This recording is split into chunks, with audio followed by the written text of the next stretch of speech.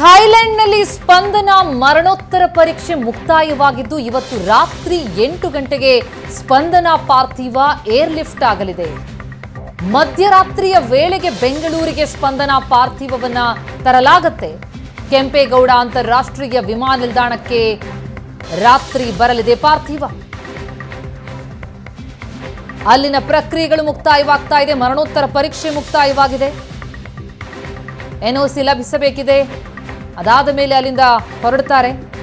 ಇವತ್ತು ರಾತ್ರಿ ಎಂಟು ಗಂಟೆಗೆ ಸ್ಪಂದನಾ ಪಾರ್ಥಿವ ಏರ್ ಲಿಫ್ಟ್ ಆಗಲಿದ್ದು, ಮಧ್ಯರಾತ್ರಿಯ ವೇಳೆಗೆ ಬೆಂಗಳೂರಿಗೆ ಬರ್ತಾರೆ. ನಾಳೆ ಮಧ್ಯಾಹ್ನದವರೆಗೂ ಕೂಡ ಪಾರ್ಥಿವ ಶರೀರದ ಅಂತಿಮ ದರ್ಶನಕ್ಕೆ ಅವಕಾಶವನ್ನು ಕಲ್ಪಿಸಲಾಗುತ್ತೆ. ಮಲ್ಲೇಶ್ವರಂ ಆಟದ ಮೈದಾನದಲ್ಲಿ ಅಂತಿಮ ದರ್ಶನದ ವ್ಯವಸ್ಥೆಗೆ ಚಿಂತನೆ ನಡೆದಿದ್ದು, ಆ ನಿಟ್ಟಿನಲ್ಲಿ ಸಿದ್ಧತೆಗಳಾಗ್ತಾ ಇದೆ.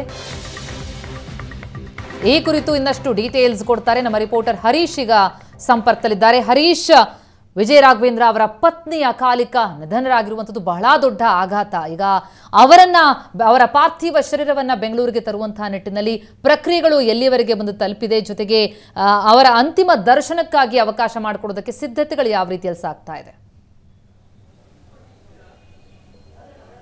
ಆ, ಖಂಡಿತವಾಗಿಯೂ ಪ್ರತಿಮಾ, ಸದ್ಯಕ್ಕೆ ನಾವಿದೀಗ ಬಿ ಕೆ ಶಿವರಾಮ ನಿವಾಸದ ಬಳಿ ಇದ್ದೀವಿ. ನೀವು ನೋಡ್ತಾ ಇರ್ಬೋದು, ಇಲ್ಲಿ ನೀರವ ಮೌನ ಅನ್ಸಿರುವುದಂತೂ ಒಂದು ಕಡೆ ಅವರ ಪಾರ್ಥಿವ ಶರೀರವನ್ನು ಬೆಂಗಳೂರಿಗೆ ತರುವಂತಹ ಎಲ್ಲ ಸಿದ್ಧತೆಗಳು ಈಗಾಗಲೇ ನಡೀತಾ ಇರುವಂಥದ್ದು ಅಂದರೆ ಕೆಲವೊಂದು ಅಲ್ಲಿ ಪ್ರೊಸೀಜರ್ಗಳಿರುವಂಥದ್ದು ಆ ಪ್ರೊಸೀಜರ್ಗಳನ್ನು ಮುಗಿದ ಬಳಿಕವಷ್ಟೇ ಅವರ ಪಾರ್ಥಿವ ಶರೀರವನ್ನು ಬೆಂಗಳೂರಿಗೆ ತರಲಾಗುತ್ತೆ. ಯಾಕಂದರೆ ಅಲ್ಲಿ ಏನೊಂದು ವಿದೇಶದಲ್ಲಿ ನಿಧನ ಹೊಂದಿರುವಂತಹ ಹಿನ್ನೆಲೆಯಲ್ಲಿ ಅಲ್ಲಿ ಪೋಸ್ಟ್ ಮಾರ್ಟಮ್ ರಿಪೋರ್ಟನ್ನು ತೆಗೆದುಕೊಂಡ ಬಳಿಕವಷ್ಟೇ ಈ ಒಂದು ಒಂದು ಶರೀರವನ್ನು ಇವರಿಗೆ ಕುಟುಂಬಸ್ಥರಿಗೆ ಹಸ್ತಾಂತರ ಮಾಡಲಾಗುತ್ತೆ. ಯಾಕಂದರೆ ಅಲ್ಲಿ ಏನಾಗಿದೆ ಅನ್ನುವಂಥದ್ದು ಎಲ್ರಿಗೂ ಗೊತ್ತಾಗಬೇಕಾಗಿದೆ. ಹೀಗೆ ಹಾಗಾಗಿ ಪೋಸ್ಟ್ ಮಾರ್ಟಮ್ ರಿಪೋರ್ಟ್ನಲ್ಲಿ ಏನಿದೆ ಅದು ಬಂದ ಬಳಿಕವಷ್ಟೇ ಇವರಿಗೆ ಕುಟುಂಬಸ್ಥರಿಗೆ ಆ, ಮೃತದೇಹವನ್ನು ಹಸ್ತಾಂತರ ಮಾಡ್ತಾರೆ. ಈ ನಿಟ್ಟಿನಲ್ಲಿ ಅಲ್ಲಿ ಒಂದಷ್ಟು ಪ್ರೊಸೀಜರ್ಗಳು ಆದ ನಂತರ ಆ ರಿಪೋರ್ಟನ್ನು ಫಾರಿನ್ ಎಂಬೆಸಿ ಅಂದರೆ ಭಾರತದ ಎಂಬೆಸಿಗೆ ಅದನ್ನು ಕೊಟ್ಟು ನಂತರ ಆ ಶರೀರವನ್ನು ಇಲ್ಲಿ ತರುವಂತಹ ಸಾಧ್ಯತೆ ಇರುವಂಥದ್ದು. ಹೀಗಾಗಿ ಇನ್ನಷ್ಟು ಸಮಯ ಹಿಡಿಸುತ್ತೆ ಅನ್ನುವಂಥದ್ದು ಸದ್ಯಕ್ಕೆ ಗೊತ್ತಾಗ್ತಾ ಇರುವಂಥ ಮೂರ್ತಿ ಇದೆಲ್ಲ ಮುಗಿಯುವಷ್ಟರಲ್ಲಿ ಸಂಜೆ ಎಂಟು ಗಂಟೆ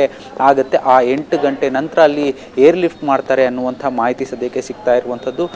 ತಡರಾತ್ರಿ ಮಧ್ಯರಾತ್ರಿ ಅಷ್ಟರಲ್ಲಿ ಅವರ ಪಾರ್ಥಿವ ಶರೀರ ಏನಿದೆ ಅದು ಬೆಂಗಳೂರಿಗೆ ಬಂದು ತಲುಪುತ್ತೆ. ಅದಾದ ಬಳಿಕ ಎಲ್ಲಿ ಅವರನ್ನು, ಅವರ ಅವರನ್ನು, ಅವ ಪಾರ್ಥಿವ ಶರೀರವನ್ನು ಎಲ್ಲಿಡಬೇಕು ಜೊತೆಗೆ ಆ ಎಲ್ಲವನ್ನು ಇನ್ನು ಕುಟುಂಬಸ್ಥರು ಯಾವುದೇ ರೀತಿಯಾಗಿ ನಿರ್ಧಾರ ಮಾಡಿಲ್ಲ. ಸದ್ಯಕ್ಕೆ ಮಲ್ಲೇಶ್ವರಂನ ಒಂದು ಮೈದಾನದಲ್ಲಿ ಇಟ್ಟು ಅವರ ದರ್ಶನಕ್ಕೆ ಒಂದು ಅವಕಾಶ ಮಾಡಿಕೊಡ್ಲಾಗುತ್ತೆ ಅಂತ ಸದ್ಯಕ್ಕೆ ಸಿಗ್ತಾ ಇರುವಂಥ ಮಾತಿ, ಮಾಹಿತಿ.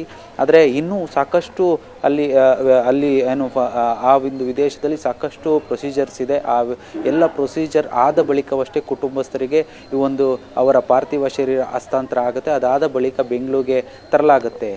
Thank you thank you Harish ತಮ್ಮೆಲ್ಲ ಮಾಹಿತಿಗೆ.